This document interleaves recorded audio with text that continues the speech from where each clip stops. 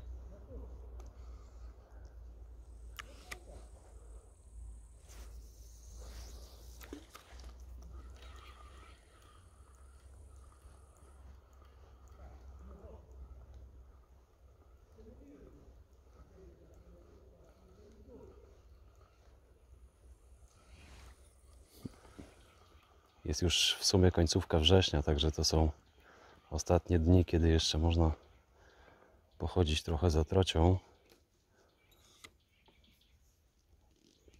Niedługo zaczyna się okres ochronny tej ryby, bo zmierza od strony morza w górę rzeki natarło, także do stycznia będzie zakaz łowienia troci.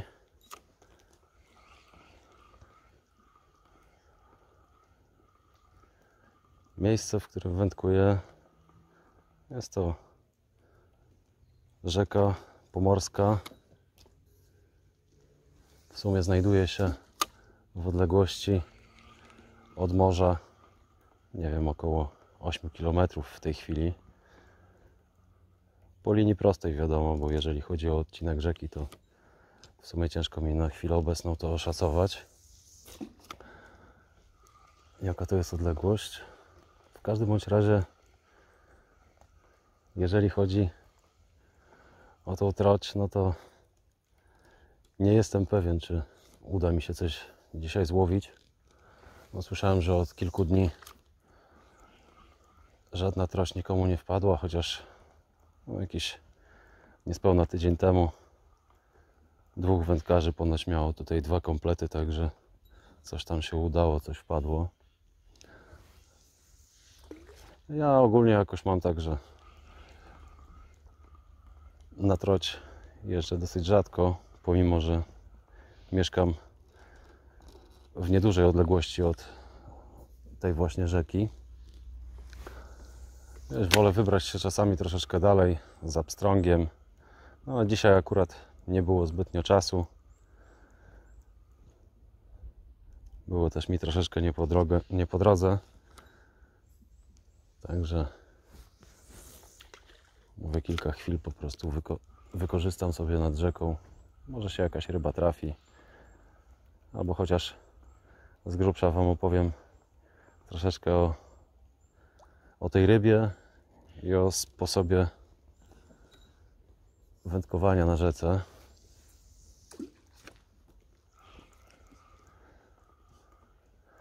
No i w sumie, co ja mogę Wam o troci powiedzieć? Jeżeli chodzi o troć, to na chwilę obecną jest tej ryby tak mało w rzekach, że wydaje mi się i pewnie wielu wędkarzy podzieli ze mną te zdanie, że to jest po prostu ryba szczęścia, którą trzeba wychodzić. Naprawdę troć trzeba wychodzić i kiedyś było inaczej, inaczej było na tej rzece. Rzuciło się błyskę, rzuciło się woblera. Zaraz ta troć się uczepiła. No w tej chwili wiadomo, są jakieś limity też wędkarskie i tak dalej, ale są jeszcze sieci. Sieć nie wybiera. Troć, łosoś, wiadomo, żyją w morzu. Często przy silniejszych wiatrach wpływają do rzeki. Tak jak na przykład w ciepłych miesiącach letnich. A tak teraz, jak jest wrzesień. Zresztą już wcześniej, no, w sumie to już wcześniej srebrniaki wpływają do rzeki. Srebrniaki to są akurat ryby przedtarłowe. Duże, silne. Ogólnie jeżeli chodzi o troć, to jeżeli troć wypływa z rzeki, dostaje się do morza, ma naprawdę bardzo duży przyrost masy ciała w tym okresie. No i co tu dużo mówić, jak wpływają jako srebrniaki, to to już są takie naprawdę silne kabany i jest z czym powalczyć. Potarle, skeltem, no też czasami jest frajda z walki, no ale wiadomo, ta ryba potarla jest troszeczkę bardziej wymęczona i to znaczy w sumie nawet dużo bardziej. I nie ma takiej frajdy z samego połowu. Ogólnie odcinek rzeki, na którym obecnie się znajduję, jest w sumie jednym z najbardziej łownych odcinków tej rzeki. No, ogólnie kiedyś było tak, że można tutaj było trafić pstrąga, a teraz gdzieś tam w górze rzeki czasami jakiś pstrąg się trafi, czy tam lipień, ale rewelacji już nie ma. Ogólnie ja osobiście za pstrągiem też jeżdżę na całkiem inną rzekę. Mam swoje dwie rzeki gdzieś tutaj w moich rejonach i na nich lubię od czasu do czasu zawitać na pstrągach. Nie wiem, nie jestem pewien, czy w tym sezonie jeszcze uda mi się jakiś film nagrać z wędkowania pstrągowego. Bardzo prawdopodobne, że nie będę miał zbytnio możliwości. Także na pewno, jeżeli będziecie obserwowali mój kanał, to w przyszłym sezonie pojawią się takie filmy z wypraw na pstrągi. I na pewno coś się uda złapać. No bo tutaj akurat, jeżeli chodzi o dzisiejszy dzień, o dzisiejsze wędkowanie, tak dosyć sceptycznie podchodzę do tego, bo też jest spadek ciśnienia. Zresztą w sumie aż takim specjalistą od troci nie jestem, tak przyznam się szczerze i nie jestem w stanie powiedzieć, czy spadające ciśnienie ma taki wpływ akurat na żerowanie troci. Naprawdę zdarzają się różne sytuacje. Ja też znam sporo wędkarzy, którzy na tej właśnie rzece często bywają. Łapią tam kilka, nawet kilkanaście sztuk w ciągu roku, ale nie są to jakieś tam rewelacyjnych rozmiarów sztuki. A osobiście widziałem przypadek, gdzie przyjechał na ryby pierwszy raz człowiek, który nigdy jeszcze nie łowił na tej rzece, nigdy nie był na trociach. Rzucał, rzucał, rzucał. Szedł przez rzekę, łowił w miejscach, w których było już łowione wcześniej przez innych. I nikomu się akurat ta troć nie trafiła, tylko jemu, która miała prawie metr długości. Także chłop miał ogromnego farta. Nie wiadomo, czy mu jeszcze kiedykolwiek w życiu się przydarzy taka wielka ryba, jeżeli chodzi o troć. No tak, to z nimi jest. No, no i też jest fakt taki, że tych ryb jest naprawdę coraz mniej w naszych rzekach. I to nas wędkarzy dosyć mocno martwi.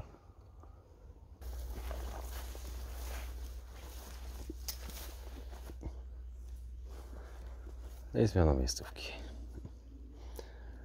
Także wracając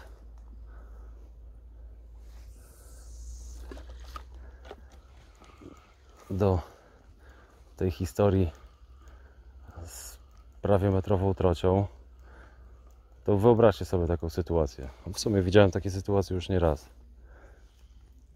Przechodzi przez jedną miejscówkę kilku wędkarzy, rzucają, rzucają, rzucają. I nagle przychodzi któraś z kolei osoba,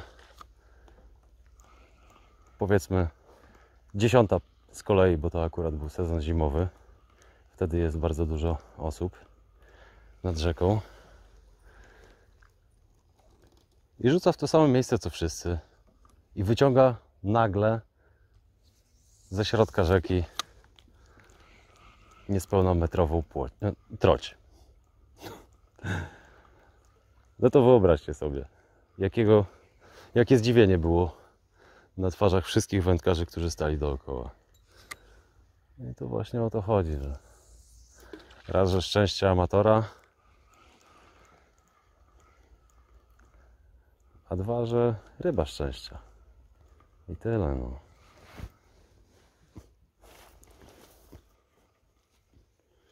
Jeżeli chodzi o sam sposób obławiania rzeki,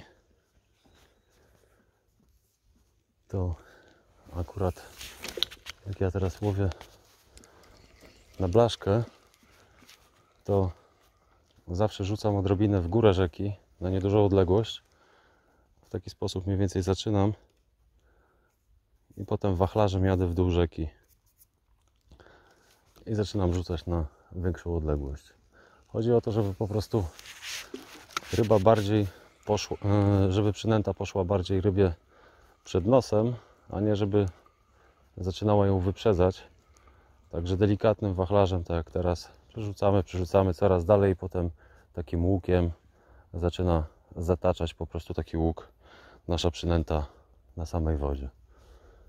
Także tak to mniej więcej wygląda. O, tam kawałeczek po lewej słyszałem jakiś spław. No ale wiadomo, to nie musiała być koniecznie troć. Są tutaj też okonie. Ostatnio znajomy złapał takiego no, sporego w sumie szczupaka, bo 80 cm. Także i szczupaki też się tutaj trafiają. No ale wiadomo, nie przyszedłem łowić tutaj szczupaków, tylko przyszedłem na trocie.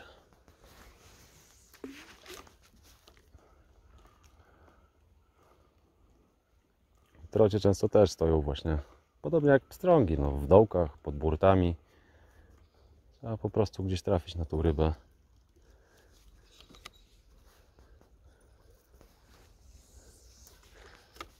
Oczywiście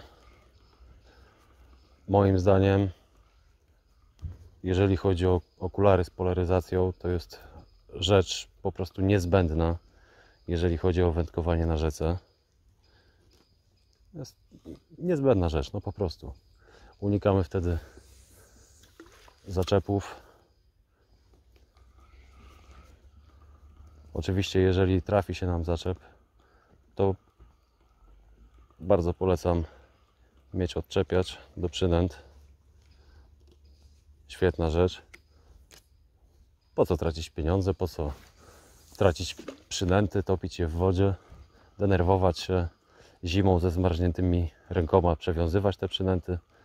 Odczepiaczem można sporo rzeczy załatwić. Można sobie na lince spuścić odczepiać i uratować przynętę, która nam gdzieś utknęła na, na jakiejś podwodnej przeszkodzie. No, ale można takich sytuacji uniknąć stosując okulary polaryzujące. Wtedy widzimy, czy są jakieś przeszkody podwodne. Czasami można dostrzec jakiś dołek albo i rybę gdzieś ustawioną przy burcie.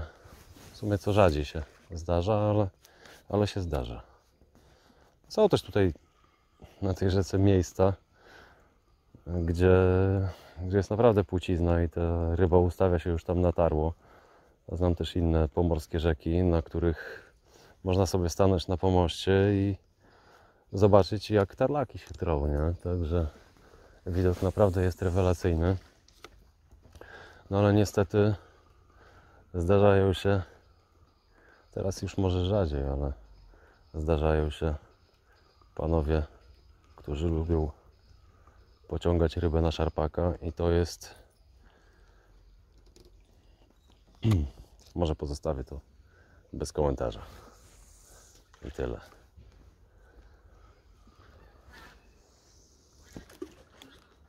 Ustawiłem się z drugiej strony rzeki. Drugą burtę w inny sposób troszeczkę poobławiam.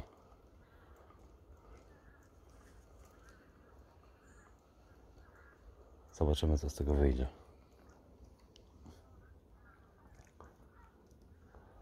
Spotkałem teraz grupkę wędkarzy.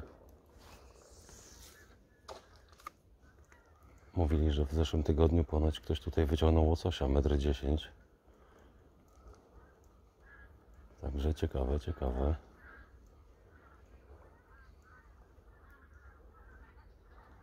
Kto by nie chciał zdjęcia z taką rybą wyciągniętą z rzeki.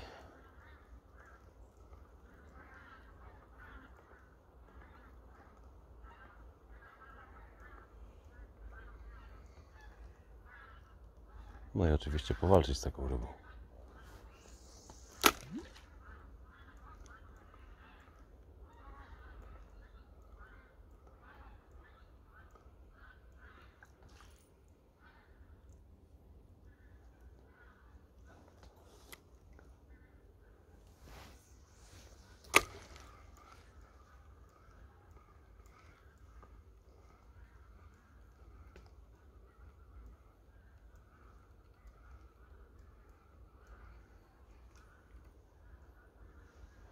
Dobrze, ruszamy dalej.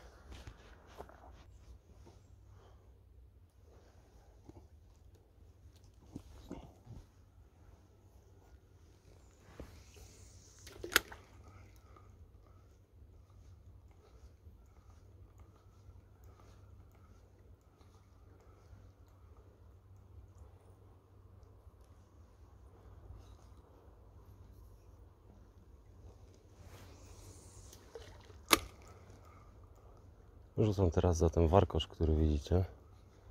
Także jest mocniejszy nurt troszeczkę. No i prowadzę przynętę do brzegu przy dołku, który się znajduje tutaj.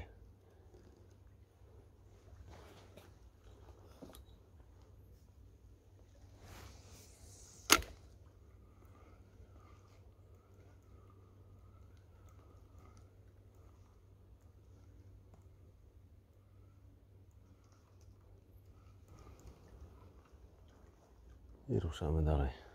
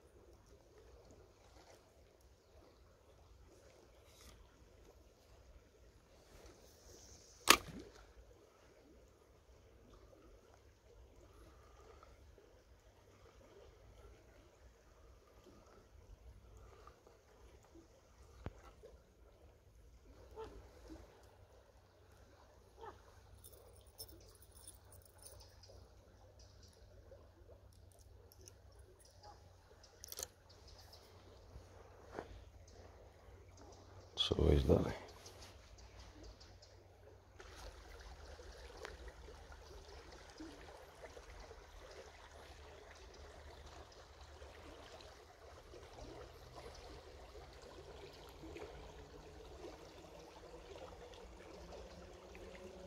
Naprawdę pięknie to wygląda.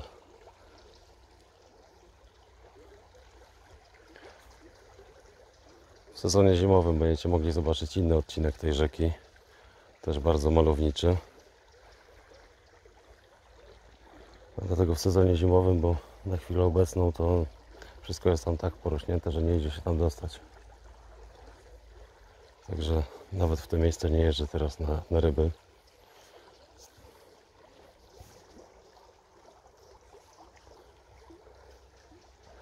Dobra, idę poszukać jakiegoś wygodnego miejsca do wędkowania i zaraz widzimy się znowu.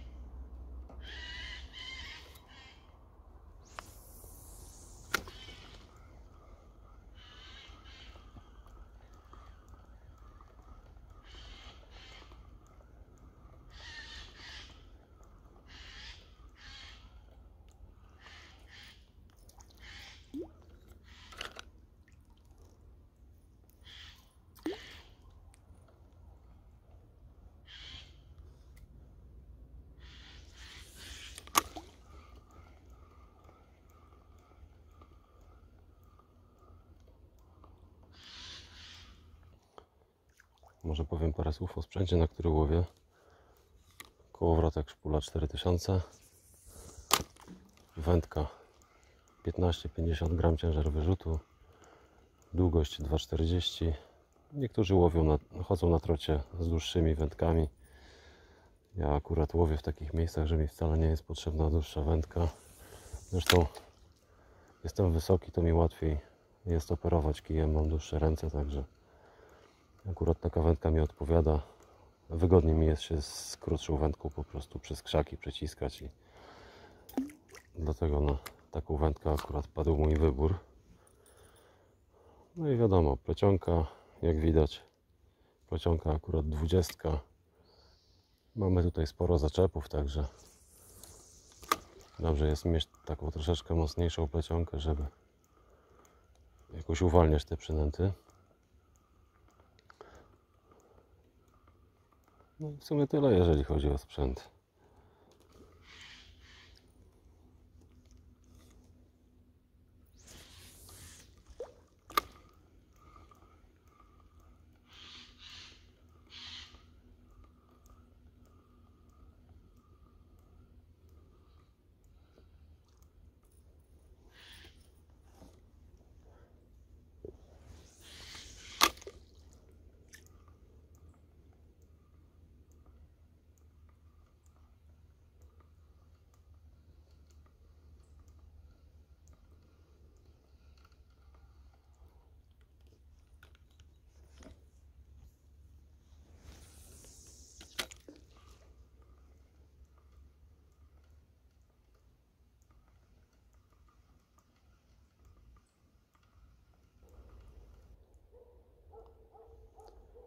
Tak więc moje wędkowanie na dziś już dobiegło końca.